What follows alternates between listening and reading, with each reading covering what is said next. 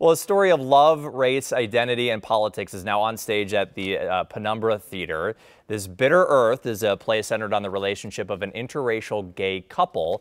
And we are joined now by Harrison David Rivers, the playwright of This Bitter Earth, also the play's director, Talvin Wilks. Uh, great to have both of you guys yeah. here.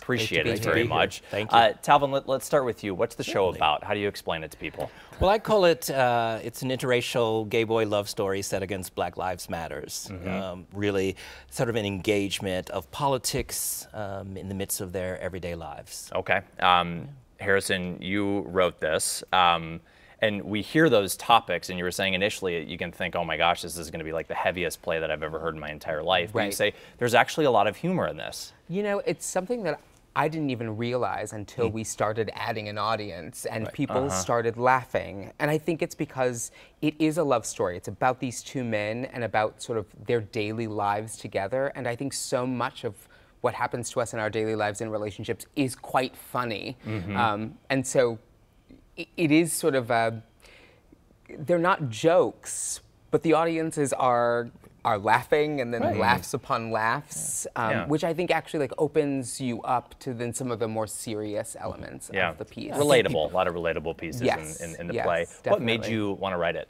Uh, well, I was commissioned to write the play. So a theater asked me to write a play about uh, sort of black bodies in America. Mm -hmm. um, and this was sort of my interpretation of that, like looking at my own life and my own relationship mm. and putting some of those things um, my experiences on yeah. stage. Yeah, I think we have some photos here from uh, from the production. Let's take a look at this here, Talvin. I want to have you touch on this. Yeah. What, what, struck me right away was a lot of like projections mm -hmm. used in this, a lot of kind of like modern technology. Right. What's the feel that you're going for for people that are in attendance? Well, for me, I think of it as a sort of a memory play, a dream play. I mean, we set it inside of uh, a bedroom. I mean, that's a choice.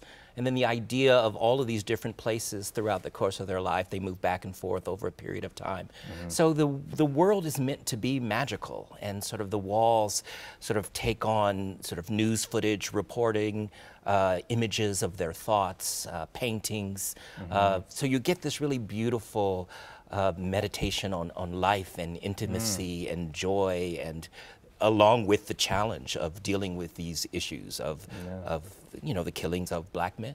Yeah, they're big issues that are very relevant to today. Um, right. Harrison, what do you want people to take away from this show? I, I, I feel like I just want people to be moved and to potentially have people leave thinking about about sort of these happenings mm -hmm. and I mean the fact that they are still happening. Yeah. Um, and to just be more aware than they were when they came in. Okay. Awareness is a good thing, isn't it? Absolutely. For all of us. Mm -hmm. um, thank you guys both for being thank here. You. Appreciate you it very much. much. Sounds like a, a, wonderful show. Excited for people to see it. It runs uh, through May 20th at the uh, Penumbra Theater. We have information, of course, for you at KARE11.com if you want to learn more all about it. Uh, stay with us. We'll be right back.